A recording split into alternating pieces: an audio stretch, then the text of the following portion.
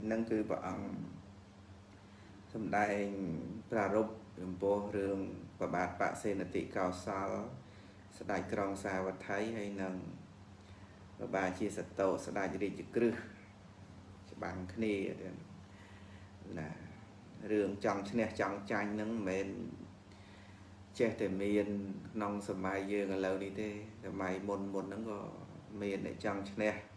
ចង់ចាញ់គ្នាដូចថា សិទ្ធិអ្នកចង់ឈ្នះសិទ្ធិអ្នកពូកែអញ្ចឹងឯងប៉ុន្តែព្រះអង្គសម្ដែងថាអ្នកឈ្នះហ្នឹងបានពីរគឺថាគេរមែងចង់ឈ្នះវិញអញ្ចឹងណា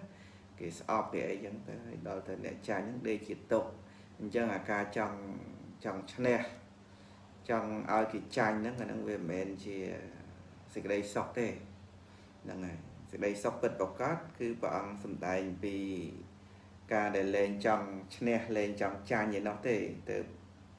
នៅជាសុខទៀតហ្នឹងហើយលែងចង់ឈ្នះលែងចង់ចាញ់ទេហ្នឹងហើយគឺបានដល់បកគលណាដែលលែងលែងចង់ឈ្នះលែងចង់ចាញ់បានដល់បកគលណាគឺបានដល់សัพបរោះទាំងឡាយដែលលោកលែងចង់ឈ្នះហ្នឹងហើយលែងចង់ឈ្នះអ្នកដាអ្នកណីទាំងអស់ហ្នឹងហើយគឺថាសូមឲ្យតែគេបានសេចក្តីសុខទៅមិនចង់ឈ្នះអ្នកណាអ្នកណាទាំងអស់ហ្នឹងហើយ កាលពីមិនតាន់យល់ដឹងពធហ្នឹងចេះតែគិតថាបើគេឈ្នះយើងមិនបានទេ គេឈ្នះយើងមិនបានទេអញ្ចឹងណាហ្នឹងហើយហើយដល់ទៅបានយល់ដឹងពធទៅបានថាគេឈ្នះក៏គ្មានអ្នកណាបានអីដែរអញ្ចឹងអ្នកឈ្នះហ្នឹងគ្រាន់តែបានតែឈ្នះយើងទេតាតាមពិតទៅគាត់អត់មានឈ្នះមច្ចុរាជ គឺសេចក្តីស្លាប់ទេហើយថែមទាំងមិនអាចឈ្នះកិលេសបានទៀតផងហើយព្រះរាមានុភាព្រះអង្គទ្រង់ត្រាស់សរសើរបុគ្គលដែលឈ្នះកិលេសឬក៏បុគ្គលដែលឈ្នះខ្លួនឯងយ៉ាងនេះទេទៅប្រសើរហ្នឹងហើយអ្នកដែលឈ្នះអ្នកដតីរាប់រយរាប់ពាន់អ្នកក៏មិនប្រសើរដូចឈ្នះកិលេសខ្លួនឯងឈ្នះកិលេសគឺឈ្នះចិត្តអកុសលឈ្នះចិត្តបាបដោយថាចិត្តខឹងដែលយើងបានក្របសង្កត់ហើយចិត្តចោចម្ពាក់ដែលយើងបានផ្ដាច់ហើយអីហ្នឹងអាហ្នឹងវាជារឿងល្អសង្គ្រាមហ្នឹងសង្គ្រាមល្អណាស់ដូចជាពុទ្ធបរិស័ទមួយចំនួនក៏ជំនះខ្លួនឯងឲ្យរក្សាសិលបានឲ្យធ្វើទានបានហ្នឹងហើយព្រះបរមពុរិស័ទនឹង ឈ្នះអាការចកចម្ពាក់ក្នុងវត្ថុកាមសាងភ្នោះបានអញ្ចឹងទៅហើយចូលកសាដកព្រាមស្រ័យថាជីតាំងមេជីតាំងមេឈ្នះហើយឈ្នះហើយហ្នឹងយើងឈ្នះហើយយើងឈ្នះហើយហ្នឹងដោយសារតែបានសម្រេចចិត្តបូជានៅសម្ពុទ្ធសាដកចំពោះព្រះមានរភាក្នុងការបូជាពធហ្នឹងអញ្ចឹងទៅហើយពុទ្ធបរិស័ទខ្លះក៏ជំនះចិត្តខ្លួនឯងឲ្យឈ្នះចិត្តប្រកាន់ ចិត្តស្រឡាញ់ចិត្តចោចម្ពាក់ចិត្តចំណែនចិត្តស្អប់ឬក៏ឈ្នះការទ្រុះសិលអីហ្នឹងអាហ្នឹងគឺជាការឈ្នះដ៏ប្រសើរថ្លៃថ្លាទៀតហ្នឹងហើយ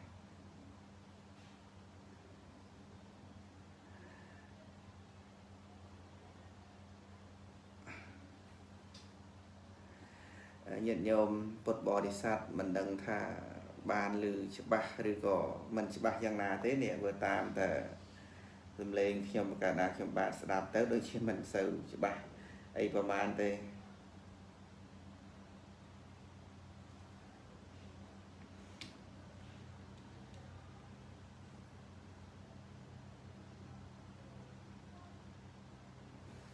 ណា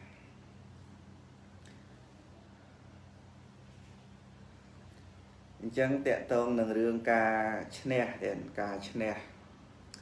អឺបើសិនជាយើងអ្នកខ្លះគិតថាតលតែឈ្នះអ្នកដតីទៅបានសេចក្តីសុខទៀតតលតែឈ្នះអ្នកដតីទៅបានសេចក្តីសុខហ្នឹងហើយវាមានអារឿងមួយដែលមានកំណត់គិតថាវាតលតែបានឈ្នះគេទៅបានសុខហ្នឹងហើយគំនិតហ្នឹងក៏យើងគួរតែលះបង់ផងដែរទៀត ណាព្រោះអីព្រោះថាបើយើងគិតថាតលឈ្នះគេម្នាក់នឹងបាទយើងបានសុខអានេះជាគំនិតយល់ខុសស្រឡះ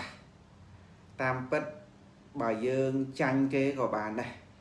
ឲ្យតែយើងព្រមយើងចាញ់គេក៏បានដែរឲ្យតែយើងព្រម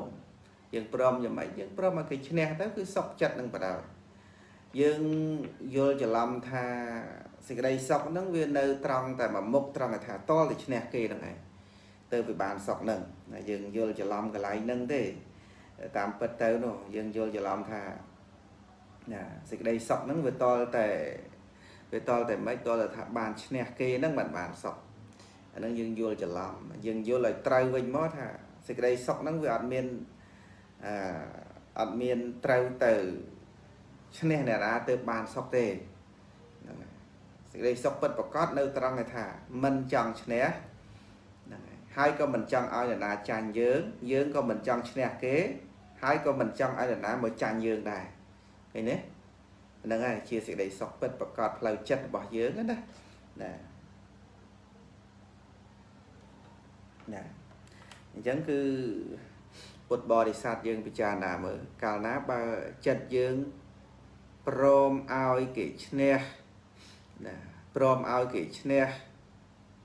ហើយចិត្តយើងដូចថាអត់មានចង្អៀតចង្អល់អីនឹងគេឈ្នះនឹងគេអីបន្តិចបន្តួចពាក្យប្រមាត់បកអីនឹងបានទេ យើងរមែងនៅជាសុខទៀតនៅជាសុខទាំងនៅក្នុងបច្ចុប្បន្ននេះនិងនៅក្នុងបរិលោកទាំងមិនទៀមទាសេចក្តីសុខពីអ្នកណាអ្នកណា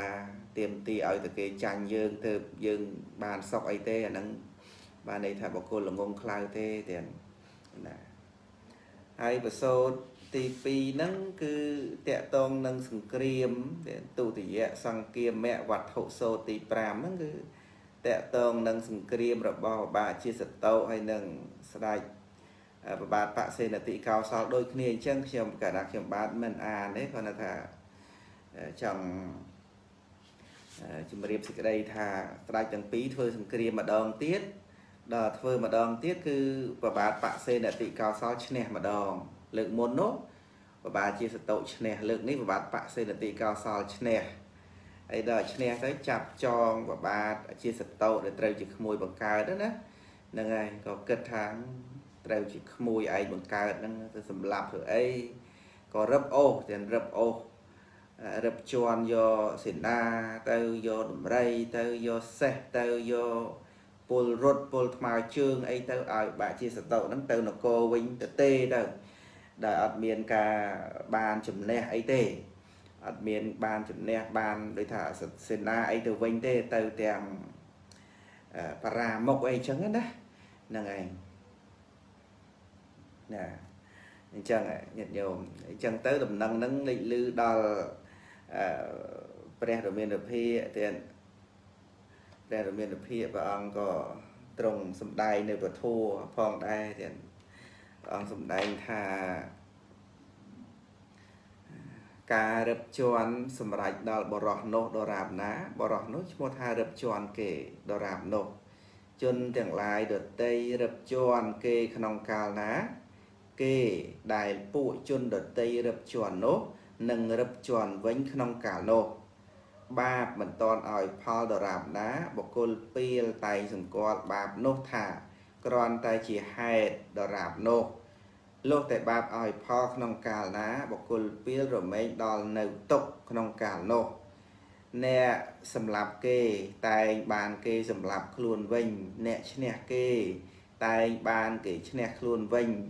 អ្នកជេរគេតែងបានគេជេរខ្លួនវិញ អ្នកប្រទុះគេតែងបានគេប្រទុះខ្លួនវិញមួយទៀតអ្នកដែលគេរឹបជាន់នោះរមែងរឹបជាន់គេវិញ តាមការផ្លាស់ប្ដូរនៃកម្មហ្នឹងហើយហ្នឹងគឺព្រះរមានរភិព្រះអង្គទ្រង់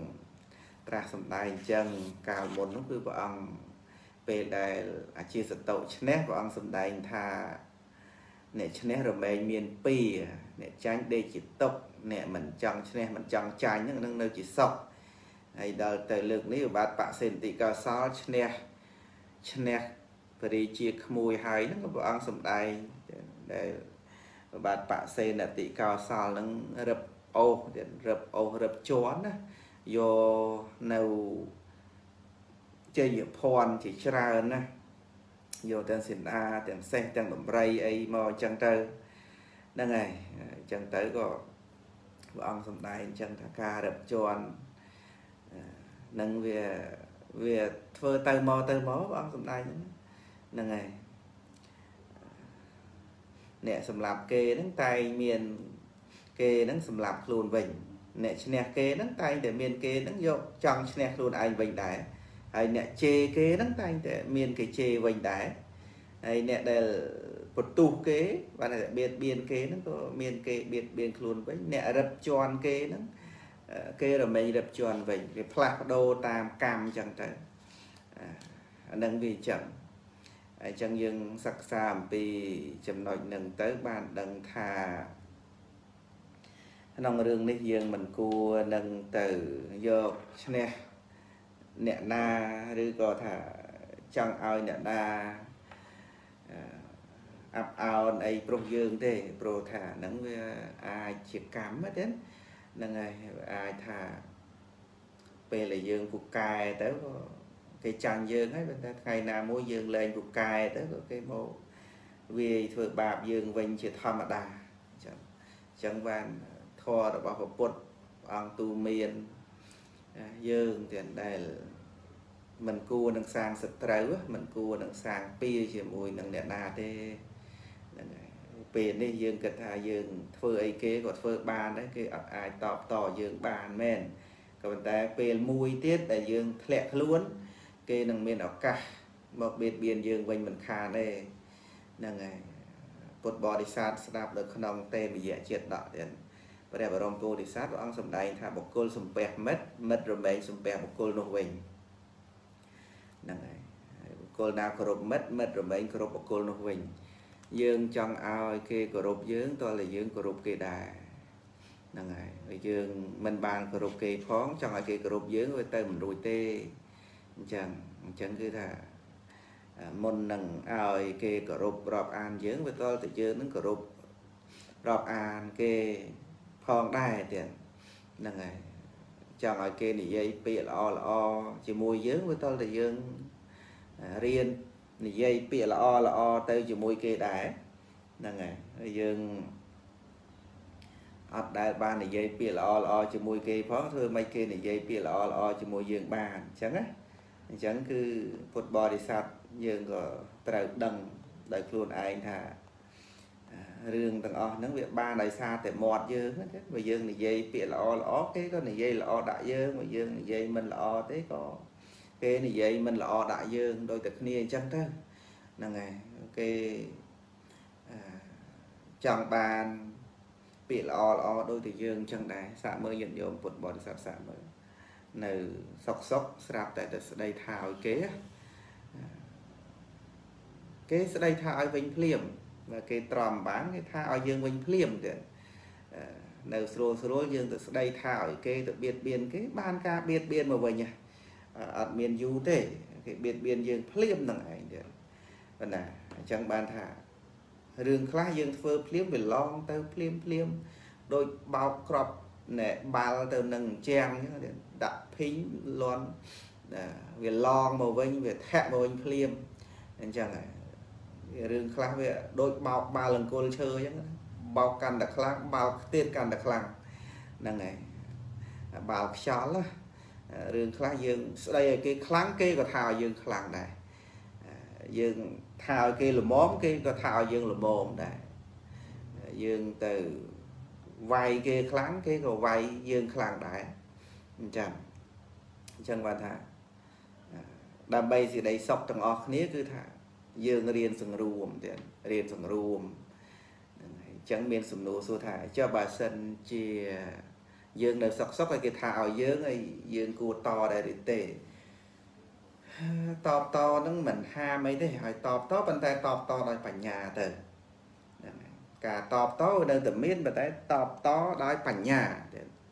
ការតបតដោយបញ្ញាឃើញពុទ្ធបរិស័ទស្ដាប់តនកន្លែងហ្នឹងណាគឺយើងតបតដោយបញ្ញាអ្នកដែល តតោះគ្នាតោះគ្នារហូតឈានទៅដល់ការវាយគ្នាបានន័យថា អ្នកទាំងពីរហ្នឹងខ្សោយខាងផ្លូវបញ្ញាខ្លាំងណាស់ខ្សោយខាងស្មារតីព្រោះថាបើអ្នកចេះដឹងគេមិនវាយគ្នាទេគេមិនតតគ្នាគេមិនកាប់គ្នាគេមិនចាក់គ្នាគេមិនបោកយបាប់គ្នា គេមិនស្រែកជេរអាក្រោះដាក់គ្នាទៅវិញទៅមកទេបើអ្នកចេះដឹងនោះគេអ្នកចេះដឹងគេអត់ប្រើវិធីហ្នឹងទេ អត់ប្រើអំពើហិង្សាដោះស្រាយបញ្ហាទេបើអ្នកមានសតិស្មារតីគ្រប់គ្រាន់ណាណាមិនធ្វើអំពើហ្នឹងទេអ្នកដែលខ្វះចំណេះដឹងទេណាអ្នកដែលខ្វះចំណេះដឹងទេដែលដែលថាមិនដឹងជាទៅធ្វើអីហ្នឹងហើយដើម្បីឲ្យវាអស់ចិត្តឲ្យឃើញចាញ់ឈ្នះនៅពេលហ្នឹងមិនដឹងទៅធ្វើអីមានតែ មានតែអីមានតែការវាយគ្នាទៅវាអត់មានដំណោះស្រាយអត់មានអឺបញ្ញាដោះស្រាយបញ្ហាហ្នឹងអញ្ចឹងមានតែវាយគ្នាតោះគ្នាទៅបដ ாய் ទៅវាអត់មានបញ្ញាតែអត់មានបញ្ញាដល់តែអត់មានបញ្ញាអញ្ចឹងរកអីដោះស្រាយឃើញក្រៅពីវាយកាប់ចាក់ខឹងខ្លាំងតាមពិតអាកំហឹងកើតឡើងអ្នកណាក៏មានដែរលើកលែងតែព្រះអរហន្តឬក៏ព្រះអនាគាទៅ អ្នកវត្ថុជនយើងអ្នកណាក៏អាចមានកំហឹងមកដល់ប៉ុន្តែគាត់ថាអ្នកខ្លះមានកំហឹងមកដល់ហើយគេដោះស្រាយកំហឹងហ្នឹងដោយសន្តិវិធីណាដោះស្រាយកំហឹងដោយសន្តិវិធី គឺមានបុគ្គលខ្លះអត់ដោះស្រាយកំហឹងហ្នឹងដោយសន្តិវិធីទេខឹងកើតឡើងហើយក៏ប្រើដៃប្រើជើងប្រើអាវុធអីអីចឹងទៅដើម្បីបង្កបញ្ហាកាន់តែធំដែលអ្នកមានបញ្ញាស្មារតីអត់ទេ ពេលដែលមានកំហឹងនឹងហើយក្របសង្កត់ចិត្តនឹងឲ្យខ្លាំងទៀតហ្នឹងហើយពេលដែលមានកំហឹងរឿងដែលយើងត្រូវទប់ទល់ធំបំផុតគឺជាមួយកំហឹងខ្លួនឯងទប់ជាមួយកំហឹងខ្លួនឯងមិនមែនទៅទប់ទល់ជាមួយសត្រូវទេសត្រូវខ្លួនឯងដែលចិត្តហើយសាហាវជាងសត្រូវខាងក្រៅគឺខ្លួនឯងមិនមែនសត្រូវខាងក្រៅដៃគូប្រកួតទេគឺចិត្តនេះឯង យើងមុននឹងដោះស្រាយបញ្ហាជាមួយនឹងអ្នកដតីរឿងឆ្លោះតអីយើងត្រូវតែក្របសង្កត់កំហឹងខ្លួនឯងជាមុនសិនកាលណាបើយើងក្របសង្កត់កំហឹងខ្លួនឯងជាមុនហើយយើងនឹងដោះស្រាយបញ្ហានោះបានល្អដោយសន្តិវិធីគ្មានច្បាប់រដ្ឋណាមួយឲ្យវាយគ្នាទេទាំងច្បាប់ផ្លូវលោកផ្លូវធម៌ទៀតអត់មានច្បាប់ណាមួយឲ្យវាយគ្នាឲ្យទាស់គ្នាទេ មានតែកំហឹងគិតខុសមួយពេលប៉ុណ្ណោះ ដែលសម្រេចចិត្តឲ្យយើងវាយគ្នាកាប់គ្នាចាក់គ្នាសម្លាប់គ្នាបៀតបៀនគ្នាដោយកាយដោយវិចារនោះអញ្ចឹងការដែលបៀតបៀនគ្នាដោយកាយដោយវិចារនេះឯងគឺជាការធ្វើដោយការបាត់បង់ស្មារតីគឺជាការធ្វើដោយការខ្វះការពិចារណា ជាបុគ្គលខ្សោយខាងសតិស្មារតីបុគ្គលដែលខ្សោយខាងសតិស្មារតីទើបប្រើអំពើហិង្សា អ្នកដែលមានបញ្ញាមិនប្រើអំពើហិង្សាទេណាអ្នកដែលមានបញ្ញាមិនប្រើអំពើហិង្សាទេ មានតែអ្នកខ្វះបញ្ញា ខ្វះស្មារតីប៉ុណ្ណោះទើបប្រើអំពើហិង្សា ប្រើកម្លាំងកាយណាប្រើកម្លាំងបាយឬកម្លាំងកាយប្រើការឆ្លោះទាស់ហ្នឹងជាធំអ្នកមានបញ្ញា មិនប្រើកម្លាំងបាយទេប៉ុន្តែគេប្រើកម្លាំងបញ្ញាឃើញទេអ្នកដែលមានបញ្ញាគេប្រើបញ្ញាគេមិនប្រើកម្លាំងបាយដោះស្រាយបញ្ហាទេ អ្នកដែលអត់បញ្ញាប៉ុណ្ណោះទៅប្រើកម្លាំងបាយហ្នឹងហើយអញ្ចឹងគឺពុទ្ធបរិស័ទយើងយល់ដឹងចេះចាំត្រង់កន្លែងហ្នឹងទៅថាអ្នកដែលមានបញ្ញា គេមិនប្រើអំពើហិង្សាទេ គេមិនប្រើកម្លាំងបាយដោះស្រាយបញ្ហាទេជាមួយអ្នកដទៃណាហ្នឹងហើយបាទគឺគេប្រើបញ្ញាស្មារតីរបស់គេដោះស្រាយបញ្ហាទាំងឡាយទាំងពួងនោះនោះអញ្ចឹងបុគ្គលដែលឈានទៅដល់ការវាយតប់បោកច្បាប់កាប់ចាក់ វាយបហាគ្នាពីមុខពីក្រោយឬក៏ការជេរបតិចគ្នា ដោយប្រការណានីមួយនោះ គឺដោយសារតែខ្វះបញ្ញាស្មារតីប៉ុណ្ណោះទៅប្រើអំពើហិង្សាឃើញទេមើលអំពីខ្វះស្មារតីខ្វះខ្វះកលបាយខ្វះចិត្តសាស្ត្រខ្វះគំនិតអីចឹងណាអាហ្នឹងប្រើអំពើហិង្សាហើយហ្នឹងហើយអញ្ចឹង ក៏គូឲ្យអាណិតទៀតបុគ្គលដែលឈានទៅដល់ការវាយគ្នាហ្នឹងតគ្នាហ្នឹងកាប់គ្នាសម្លាប់គ្នាហ្នឹងមូលហេតុគឺខ្វះស្មារតីខ្វះបញ្ញាដោះស្រាយហ្នឹងយើងមើលយុទ្ធវិធីរបស់ព្រះបរមពុរិស័ទដោយច្រើនគឺព្រះអង្គដោះស្រាយបញ្ហាដោយសន្តិប្រែថាស្ងប់សន្តិវិធីវិធីស្ងប់អត់ដែលដោះស្រាយដោយបញ្ហា ទាំងឡាយទាំងពួងនឹងយកកំហឹងយកការកាប់ចាក់កាប់សម្លាប់នឹងជាធំឯងដូចជាការដែលព្រះអង្គទ្រង់ត្រាស់ដឹងអីចឹងក្រុងមានាំកែនៅពលសេនាច្រើនព្រះអង្គគ្មាននាំអ្នកណាអ្នកណីមកទេព្រះអង្គចូលក្នុងឈានសមាបត្តិអង្គអតិដ្ឋានបុណ្យកុសលរបស់ព្រះអង្គអញ្ចឹងទៅឃើញទេអត់មានទៅតបតធ្វើសង្គ្រាមប៉ះជាមួយគ្នាអីទេឃើញទេហ្នឹងហើយ អញ្ចឹងក្នុងចិត្តរបស់ពុទ្ធបរិស័ទយើងក៏អញ្ចឹងដែរកាលណាបើយើងយល់ដឹងពីចំណុចហ្នឹងណាយើងរៀនរៀនប្រើចិត្តរបស់យើងរៀនប្រើបញ្ញារបស់យើងដោះស្រាយបញ្ហាហ្នឹងហើយរៀនប្រើណែបញ្ញារបស់យើងសម្រាប់ទៅទប់ទល់ដោះស្រាយបញ្ហាសពគ្រប់បែបយ៉ាងដែលធ្លាប់តែមាន ហ្នឹងហើយ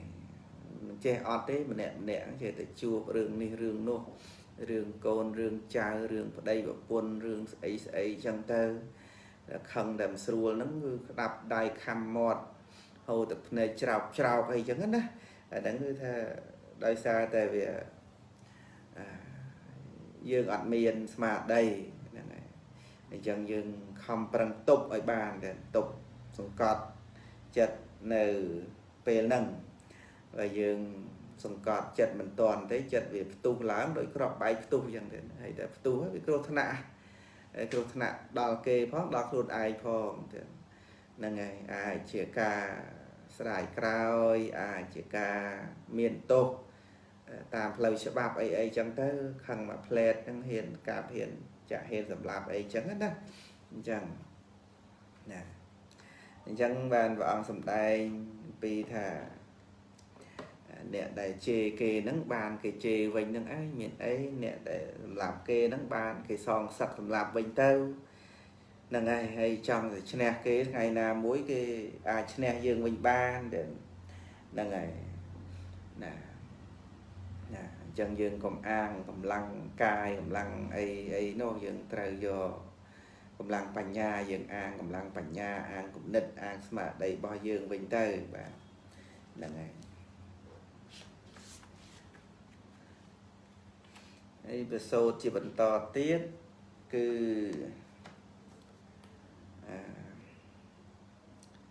ប្របាទបសេនតិកោសលថ្ងៃមួយហ្នឹងគឺពនាងម៉ាលិកាអកេមហេសីរបស់ព្រះអង្គហ្នឹងគឺបាន ណែប្រសូតបរិជាធីតាហ្នឹងហើយដឹងដំណឹងថាមានព្រះធីតាអញ្ចឹងក៏អត់សូវសบายបតីទេដឹងតែមានព្រះធីតាណានៅមានបត្រីអញ្ចឹងអត់សុបាយបតីបើមានបត្រានេះសុបាយបតីអីចឹងណាអញ្ចឹងទៅបានព្រះធមានភិព្រះអង្គសំដែងគាថាដល់បាទបសេនតិកោសលបើពិត ព្រះអង្គជាធំជាងអ្នកជនសូមព្រះអង្គចិញ្ចឹមតែស្ត្រីមួយពួកដែលមានបញ្ញាមានសិលមានម្ដាយក្មេកនិងឪពុកក្មេកដូចជាទេពតាជាអ្នកធ្វើវត្តដល់ប្តីជាស្ត្រីប្រសើរបើពិតព្រះអង្គជាធំក្នុងទិសបរោះណាកើតចាក់ស្ត្រីនោះបរោះនោះជាអ្នកឃ្លាវខ្លា ឯបុត្រនៃភរិយាល្អប្រកបដោយឆ្នោះតែងបង្រៀនតែងព្រានប្រដៅនៅជនដែលនៅក្នុងដែនបាននឹងព្រះអង្គចង់ឲ្យព្រះរាជាហ្នឹងកុំឲ្យមានគំនិតមួយគិតថាចង់បានបុត្រាយទៅជាបានបុត្រីអីចឹងព្រះអង្គសរសើរស្ត្រីទៀតហ្នឹងហើយស្ត្រីហ្នឹងក៏ជាម្ដាយនៃព្រះរាជាផងហ្នឹងឯងហើយក៏អាចមានកូននឹងជាគ្រូបាអាចារ្យអីក៏បានដែរអអញ្ចឹងណាស្ត្រីនឹងធម្មតាទេស្ត្រីជាពុទ្ធមេត្តារបស់ព្រះពុទ្ធជាម្ចាស់ផងជាព្រះមេត្តារបស់ស្ដេចចក្រពត្តិផងជាអគ្គមហេសីរបស់ស្ដេចចក្រផងអគ្គមហេសីរបស់ព្រះឥន្ទ្រាធិរាជផងជាអ្នកបានពេញបុណ្យជាភិក្ខុនីអគ្គសាវិកាអីក៏មានស្ត្រីនឹងឯងអ ញ្ចឹងស្ត្រីមិនអន់ទេណាស្ត្រីគ្រាន់តែថាមិនអាចជាស្ដេចចក្រមិនអាចជាប្រអិនមិនអាចជាប្រពុតអីប៉ុណ្ណឹងជាដើមទៅទេ ក្រៅពីហ្នឹងស្ត្រីអាច បានសម្រេចសោតាសកតិអនាគាព្រះអរហន្តស្ត្រីទេនឹងអត់មានតោអីទេស្ត្រីទេអញ្ចឹងអញ្ចឹងគឺថាស្ត្រីហ្នឹងគឺមិនអន់អីពេក ដោយពរាជាព្រះអង្គគិតថាបានបុត្រីក៏អន់បតីដោយសារតែលើតែបុត្រីអញ្ចឹងដូចនៅបណ្ដាប្រទេសមួយចំនួនដែលគេធ្លាប់និយាយដូចប្រទេសចិនអីចឹងបើបានកូនប្រុសគេអណាបានកូនស្រីគេអន់ចិត្តអន់ចិត្តណាហើយគៀបសង្កត់ស្ត្រីទៀតពេលខ្លះគៀបសង្កត់ស្ត្រីភេទហ្នឹងសម្បើមហ្នឹងហើយដូចថាកូនប្រសាស្រីអីចឹងទៅកម្មតកូលស្វាមី ហ្នឹងខ្ញុំឮតាមគេមកទេតែមិនដឹងពិតពិតទេប៉ុន្តែប្រហែលជាពិត90%ជាងហើយទេដែលបើថាកូនភាសាស្រីខ្មែរយើងបានប្តីចិនអីចឹងទៅនៅក្នុងផ្ទះចិនឮថាបំរើមកផ្ទះហ្នឹងទៅបោកខោអាវឲ្យគេពេញមកផ្ទះហ្នឹងហើយថាបំរើទាំងអស់ពុកក្មេកម្ដាយក្មេកបងថ្លៃប្អូនថ្លៃអីអឺស្ត្រីដែលជា កូនភាសាហ្នឹងបំរើគេទាំងអស់ហ្នឹងហើយអញ្ចឹងបានន័យថាគៀបសង្កត់គ្នាខ្លាំងហើយគៀបសង្កត់គ្នាខ្លាំងមើលងាយមិនឲ្យសិទ្ធសេរីភាពមិនបានផ្ដល់ភាពជាធំអីទេយកយកភរិយាទៅនៅក្នុងផ្ទះហ្នឹងគឺថាបៀតបៀនដោយកម្លាំងផ្សេងផ្សេងទៀតហ្នឹងហើយទាំងអ្នកក្នុងផ្ទះក៏អញ្ចឹងដែរតើថាអ្នកនឹងបានកូនប្រុសអីមួយអញ្ចឹងទៅបានឲ្យដើរចូលតាមផ្លូវមុខឬក៏ថាបន្ថយការងារអីអីអញ្ចឹងទៅណា វាមានប្រពៃណីប្រទេសខ្លះវាទៅវាទៅជាមិនដឹងអីចឹងណាវាដឹងដូចថាលក្ខណៈមួយថាបៀតបៀនសិទ្ធិសេរីភាពសិទ្ធិនារីនឹងខ្លាំងទេមានប្រទេសខ្លះពីមុនមកទេមិនដឹងឬក៏ឥឡូវនេះនៅអញ្ចឹងទៀតក៏មិនដឹងតែខ្ញុំកាលខ្ញុំបាទធ្លាប់ឮតាមពាក្យគេថាមកទេហើយក៏មានអ្នកខ្លះធ្លាប់បាននិយាយផ្ទាល់ផ្ទាល់ថាគាត់ ជាកូនភាសាចិនអីអញ្ចឹងចិនពួកខ្លះទៀតដឹងណាញាតិញោមមិនប៉ះពាល់អីទាំងអស់គ្នាជាចិនខ្លះទេហ្នឹងហើយហើយចិនខ្លះក៏មិនដល់ប៉ុណ្ណឹងប៉ុន្តែថាបើមានកូនភាសាមកនៅអញ្ចឹងបំរើទាំងដៃក្មេងពុកក្មេងបងថ្លៃប្អូនថ្លៃថាបំរើទាំងអស់គាត់ម្នាក់ឯងបំរើទទួលការងារទាំងអស់មកផ្ទះហ្នឹងដូចយកទៅធ្វើជាអ្នកបំរើតែម្ដងទៀត ណាហ្នឹងបានន័យថាអត់ស្គាល់តម្លៃមនុស្សហ្នឹងស្គាល់តម្លៃមនុស្សតាមពិតណាមិនទៅអន់អីមិនទៅអន់អីមនុស្សស្រីនឹងអាចធ្វើអំពើល្អបានទៀតអាចទំនុកម្រងពុទ្ធសាសនាបានច្រើនទៀតហើយយើងគិតមើលតាមពិធីបន់មួយមួយសតតែឧបាសិកាច្រើនណាឧបាសកតិចតួចទេខ្ញុំក៏ដែរខ្ញុំបាទទៅក្នុងពិធីបន់នានា គឺសតតែឧបាសិកាបាសិកាហ្នឹងប្រហែលជា80ទៅ90%គ្រប់កន្លែងក្នុងពិធីបន់ហ្នឹងហើយទៅដែនដីពុទ្ធភូមិទៅឥណ្ឌាភូមិស្រីលង្កាទៅបនទៅទានណាណាទាំងអស់គឺសតតែឧបាសិកាឧបាសកតិចបំផុតទេណាអញ្ចឹងបានន័យថាស្ត្រីនឹងសម្បូរមនុស្សល្អច្រើនណាស្ត្រីទេ ញាតិញោមបាសិកាហ្នឹងសម្បូរអ្នកល្អល្អច្រើនណាបរោះយើងមានវត្តមានច្រើនជាងគេហ្នឹងហើយធ្លាប់សួរបងប្រធានណែពន្ធនាគារថាបរោះជាប់ពន្ធនាគារមណ្ឌលកាយប្រែនច្រើនជាងស្ត្រីស្ត្រីមានតិចតួចទេក្នុងពន្ធនាគារនោះបរោះច្រើនជាងមើលតាមពន្ធនាគារមណ្ឌលកាយប្រែសតតែបរោះ បរោះច្រើនណាស់នារីតិចតួចទេណាហើយដល់តាមប៉ុនសុទ្ធតែបាសិកាវិញបាសក់តិចតួចវិញឃើញទេ